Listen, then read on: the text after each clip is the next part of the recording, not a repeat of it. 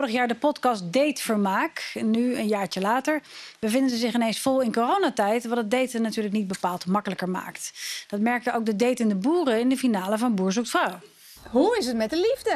Het is nog steeds een zoektocht. Ja? Corona maakt het niet makkelijker. Maar ben je alleen in je huis? Klopt, klopt. Er is geen vrouw.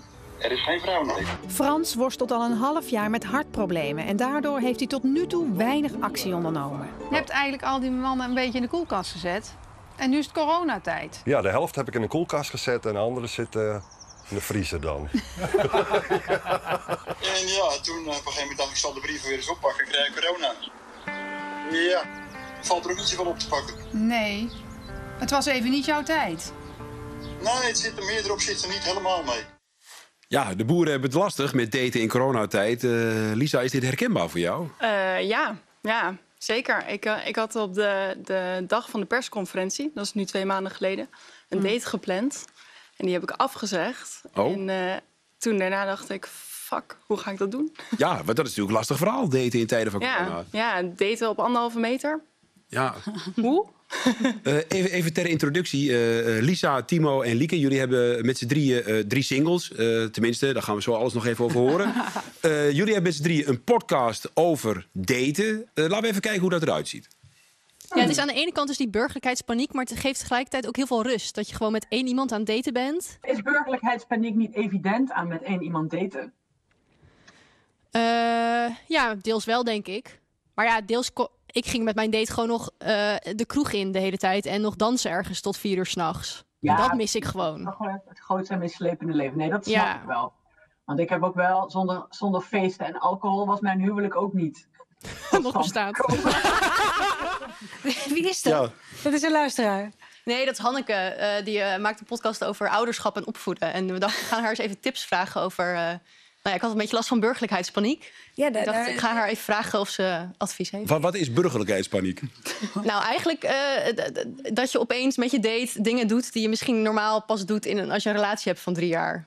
Dus op de bank zitten en een boek lezen, wandelen, eh, samen koken, Ja, meneer dat soort dingen. En hoe, hoe kwam dat dan? Ja, omdat je gewoon niks anders kan. Ja. Ja, Want, want jij, jij, we zitten natuurlijk in tijden van corona. Eh, Ja. Jij had ook een date. ja, En toen kreeg je in één keer een aanval van burgerlijkheidspaniek. Ja. blijkbaar. ja. Ja, maar echt, dat ik, ja, ik, ja, we zaten met z'n tweeën op de bank en toen dacht ik, ja, ja, oh, maar wat zijn we nu aan het doen? Ik ben er nog helemaal niet klaar voor. Ja, dan heb je eigenlijk heel stadium sla je eigenlijk over dan. Ja, maar echt. Ja, het is echt, ja je, zit in een soort versnelling. En toen? tweeën. Ik ben Ja, benieuwd, toen- benieuwd naar hoe dit Nou, het was wel afloopt. heel gezellig. En toen dacht ik, ja, oké. En nou ja, misschien moeten we dan de volgende keer iets toch avontuurlijkers doen. Ja. Maar wat kan je dan doen? Eh Gansborden. ja, ganzenborden heb ik ook. Dat kan ook meneer Slop, Gansenborden. Ja, niks mis mee natuurlijk. Eh, maar ja, ik, ja nou ja, toen heb ik dus een soort speurtocht gemaakt door de stad. Op afstand. Nee, ja, ik ben al langer met deze jongen aan het daten. Dus wij zijn inmiddels niet meer op afstand. Maar dit, Ehm. soort, dit soort dingen, dit soort onderwerpen komen naar voren in de podcast. En jullie krijgen daar ook vragen over van, van luisteraars, hè? Ja, echt veel ook. Het was eh, eigenlijk vanaf het moment dat de, de kroegen dichtgingen, was het van shit. Waar ga ik nu daten dan en hoe Ja. ga ik dat doen? En veel luisteraars vroegen ook van, ehm, ja, hebben jullie tips? Hoe, hoe En geef er eens wat. nou ja, ehm, een video bellen. Ja. En heb je Ja. dat gedaan? Ik heb dat gedaan, ja. Hoe was dat? Nou, ik vind daten dus echt wel best wel ongemakkelijk. En videobellen maakt dat echt niet beter. Eh, dus de eerste tien minuten moest ik even door de zure appel heen bijten. Eh, maar daarna werd het best wel leuk eigenlijk. Wat erg gelijk. Dat verandert een date, wat in principe misschien wel leuk is, in een soort van droge videovergadering. Ja, en er zitten zoveel rare dingen bij. Van waar ga ik in mijn huis zitten, weet je wel? Wat, wat, Ja. wat het zegt heel veel over Ik jou. moet opeens op hele andere dingen gaan letten. Inderdaad, van oh ja, hoe ziet mijn huis eruit? En waar ga ik dan zitten? Ga ik voor de boekenkast? Of ga ik op de bank? Of... Ja, en de- het allerergste vond ik eigenlijk dat ik heel de tijd mezelf zag. Oh Want ja. normaal op een date zie je natuurlijk jezelf niet. En nu Ja. dacht ik, oh ja, onderkin, oh mijn haar. Weet je Dus je wel? zat altijd zo een beetje... Ik heb denk ik bijna meer naar mezelf gekeken dan eh, naar mijn date. Is er nog wat met die jongen of niet? Eh, ja. Oh, dat wel. ja.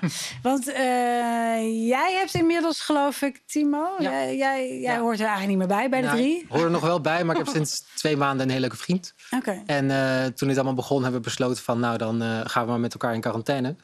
En eh, dan zie je elkaar ineens zeven dagen in de week. En dan Oh, maar dat, dat vind ik best wel een stap. Hè? Ja, Dus je, was, je was even twee maanden met iemand en dan zeg je... We gaan samen in quarantaine. Ja, ja, dus dan zie je iemand dus elke dag. En dan eh, leer je elkaar heel snel kennen. Ja. Eh, dus dat valt snel ook pan in je relatie. Eh, zijn jullie nog samen? Ja.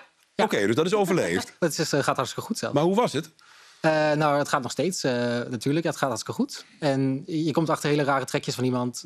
Omdat je de hele tijd op iemands, nou ja, in iemands huis bent. Ja. Eh, maar je leert je, ja, mensen gewoon heel snel kennen. En krijg je nog een aanval van burgerlijkheidspaniek? Nou, die had ik dus niet. Ik, had, ik dacht dus dat ik dat zou krijgen. en we kijken dus nu gewoon een heel seizoen Boer zoekt vrouw. Eh dat heb ik nog nooit gekeken. Ja. Maar ik vind het gewoon heel vermakelijk en ik, ik vind het hartstikke leuk. Ja, het is dus heel grappig dat je dus vanaf het begin eigenlijk een soort van... Je zag dus de paniek bij mensen die een eerste date moesten gaan doen. Van oké, hoe ga ik dat Ja. hoe ga ik dat dan doen? Want je kan niet meer... Ja, je kan afspreken misschien op anderhalve meter. Ja. En je kan videobellen. Maar je zag ook paniek bij de mensen die al langer aan het daten waren. Van oké, is het een optie om samen in quarantaine te gaan? En kunnen we dat dan aan? Denken we, of Ja. niet? Want het kan natuurlijk ook zijn dat je dan na al- anderhalve week denkt... Nee, dit, ga ik, dit wil ik niet. Maar van jullie drie, Lisa, jij hebt geloof ik flink doorgedate, meen ik? Ja. ja. Eh, Kan je nou iets eh, zeggen over daten pre-corona en nu in corona? Ja, er zit best wel groot, of tenminste bij mij, en ik hoor het ook wel meer van onze luisteraars, best wel een groot verschil. Ehm, je investeert wat meer nu. Je neemt de tijd. Ik denk voorheen was ik altijd heel erg van, eh, oké, ik heb eh, iemand op een app ontmoet of in het echt, Mhm. gelijk afspreken. Eh, dat kon nu natuurlijk niet, dus ik heb nu gewoon zes weken met iemand gebeld en geappt en zelfs brieven geschreven. ja, Ja, oh ja, zelfs brief geschreven. ja. Ja, maar we, we willen toch even iets meer weten. Is het, eh, hebben jullie elkaar ontmoet? Eh, ja. Ja? Ja.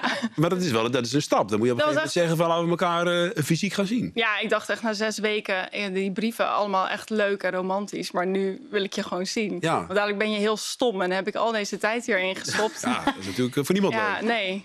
Dus, eh, Waar heb je dan waar heb je elkaar gezien? eh, nou, we zijn, hij woont in een andere stad. Dat was dus een hele, een hele moeilijke situatie, want je gaat niet met de trein. Dus uiteindelijk hebben we besloten om eh, allebei naar het middenpunt van onze huizen te fietsen. Ja. En elkaar daar te ontmoeten. En dan Ja? op een gegeven moment besluit je natuurlijk, ja, En toen? hoe ga je zoenen? Eh, ja, en toen, eh, dat was even ongemakkelijk. Want ja, dan ga je een soort van anderhalve meter gesprek. Ja, we stonden echt letterlijk op anderhalve meter. Ja, eh, gaan we dit zo houden? Wat wil jij? En ik was al ziek geweest. Ik denk dat dat wel scheelt. Je hebt al corona gehad bedoel je? Denk ik. De alle verschijnselen gehad. Twee weken ziek thuis in quarantaine geweest. En dat maakt het ietsje makkelijker misschien. Ja. Maar Nou, is makkelijk. Ik vind het wel een gek idee eigenlijk in een date... dat je dus blijkbaar een gesprekje moet gaan voeren Ja, van... ja. gaan we ons houden aan de anderhalve meter, ja of nee? ja, ja. Ja, maar dat is natuurlijk wel wat er nu, wat er nu voor ligt, toch? Ik bedoel, Ja. dat is. Ja, er zijn natuurlijk ook heel veel mensen die zich dat helemaal niet afvragen. Ja, nee, maar het is ook best wel ja, eh, moeilijk. Dat, daar wordt gewoon niet over gesproken. Nee. Eh, terwijl het is ook een perspectief dat ik ook nodig heb. Van ja, gaat die anderhalve meter, hoe lang blijft dat? Want ik wil gewoon wel ook mijn leven een beetje verder ontwikkelen. Ja. Als je date is natuurlijk de kroeg de plek waar je afspreekt. Dat is gewoon waar het plaatsvindt. En dat is nu allemaal dicht. Maar, let- ook, maar de bioscoop ook. En restaurants ook. Ja, dus Lieke, geef maar even een tip. Wat, eh, hoe, hoe moeten de mensen daten in deze tijden van corona? Ja, nou, eh, picknicken is voor helemaal hip. Picknicken? Ja. Eh, wandelen, Ganzenborden, kan ook nog. ganzenborden, fietsen. Fietsen? Ja, dus dan met z'n tweeën fles wijn in, eh, in de rugzak en dan ergens heen fietsen. Dus het, het weer is ook opeens heel erg belangrijk geworden voor het daten.